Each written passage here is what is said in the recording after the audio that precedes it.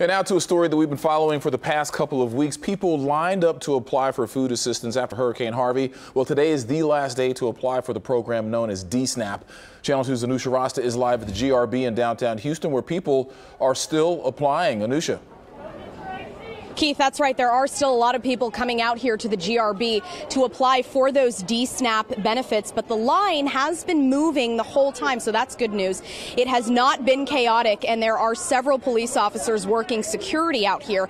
Now, this location is open until 7 o'clock this evening for anyone who wants to apply for DSNAP benefits. Remember that you will need to apply in person.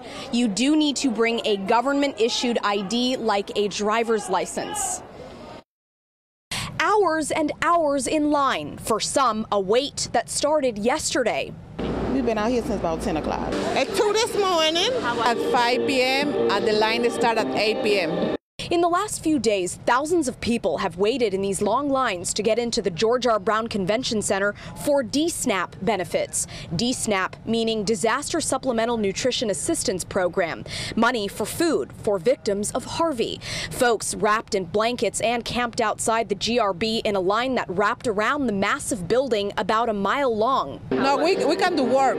Like for five days, we don't work. My husband don't work, I don't work, so we can do get the money for the food and Today is the last day to apply for help. Some local faith leaders demanding that congressional leaders and the governor extend that deadline one more week.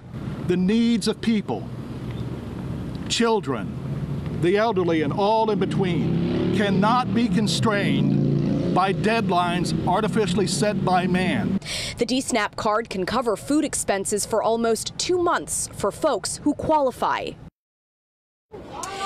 Now, DSNAP is a Texas Health and Human Services program. They have announced that they are expanding their program and offering it to Galveston, Wharton, and Montgomery counties starting October 9th and October 16th. For more information about locations and times, just look for this story on our website. That's click2houston.com. Reporting live from downtown Houston, Anusha Rasta, KPRC Channel 2 News.